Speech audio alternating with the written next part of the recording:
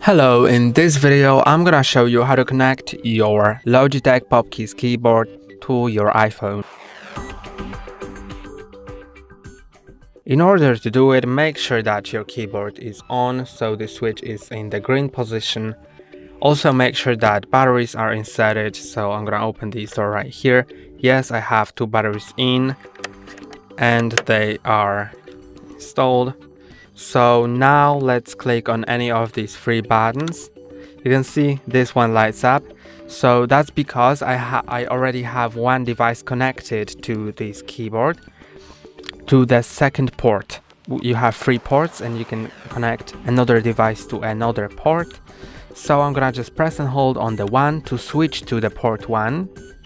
Now it's rapidly flashing so no, nothing is connected to it. And on your iPhone, just go to settings and go to Bluetooth.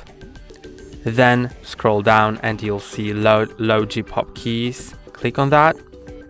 Then it'll show you that Logi Pop keys would like to pair with your iPhone. Enter the code 525407 or any other one that shows. It's a random code, so each time it's different. So I'm gonna just type in the 525407, then hit on enter and it is connected. Now I can just type in anything. So let's maybe go to notes and you can type in anything. And that's all for today. Don't forget to like and subscribe. See you next time.